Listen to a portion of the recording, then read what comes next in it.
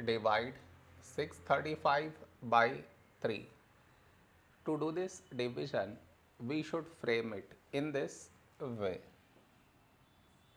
635 here, 3 here. This is your step 1. Next. Here we have 6, here 3. When do we get 6? In 3 table, 3 twos 6. Now we should subtract, we get 0. After this, bring down the beside number. So 3 down, so 3.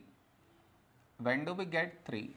In 3 table, 3 ones 3. Now we subtract, we get 0. After this, bring down the beside number.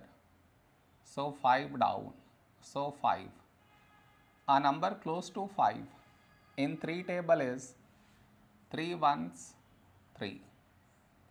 Now we subtract, we get 2. After this, no more numbers to bring it down.